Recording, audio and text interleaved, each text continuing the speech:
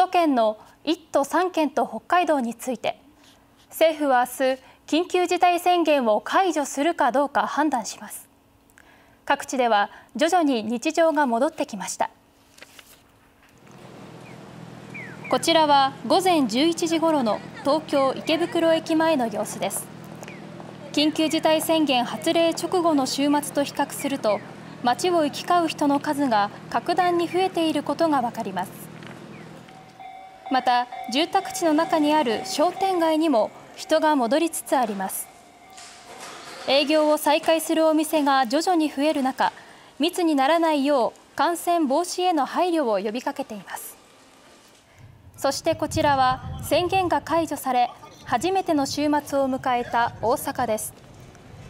道頓堀周辺の商店街では大半のお店が営業を再開していてそれを目当てにした買い物客が戻ってきています。